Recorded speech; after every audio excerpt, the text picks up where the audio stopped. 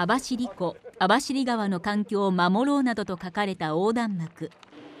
この日網走観光ホテルを運営するブリーズベイホテルの社長が重油漏れ事故後初めて網走市のサケマス孵化場を視察し漁業者らと面会しました。土砂災害防止法の区域に指定されているって話をしたら今回の油の件と何か関係があるんですかっていうことを言われたので漁業者の皆さんはここであの土砂崩れや何かがあった時に余計流出しやすくなるというふうに心配をあのしているんですよという説明をしました。それ以外にコメント何もないです。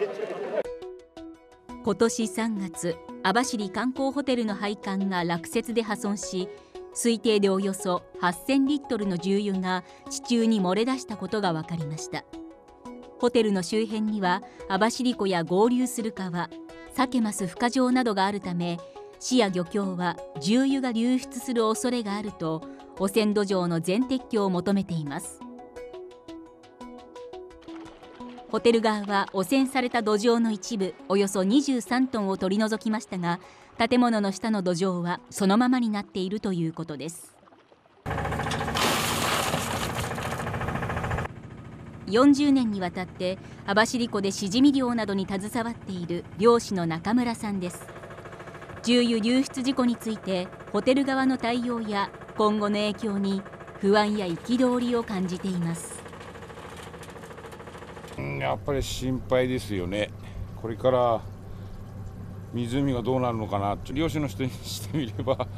もやもやが残った状態なんですよね。すぐ出るのかそれとも何十年後に出るのかよく分からないでその辺データで調べてもらいたいですね。ホテル側が非公開で開いた説明会でも納得のいく説明はなかったということです。ある意味二点三点する説明があったところであり大変私どもは現状認識が現場と大きく異なっているという印象を受けたところであります私たちはやっぱり油漏れが起きた時のやっぱり不安感これからどうなるんだろうということを窮状を訴えましたが会社側は油の全量撤去をするのには一番漏れてると思われているボイラスを壊さなきゃならない。そうなると営業私たちは営業はできない。そういう言い方をされました。ホテル側は汚染土壌の全撤去は難しいため重油が漏れ油が染み出る可能性が高い2地点でボーリング調査を定期的に実施する考えを示したということです。根本的な対策がなされない中漁業者の不安は募るばかりです。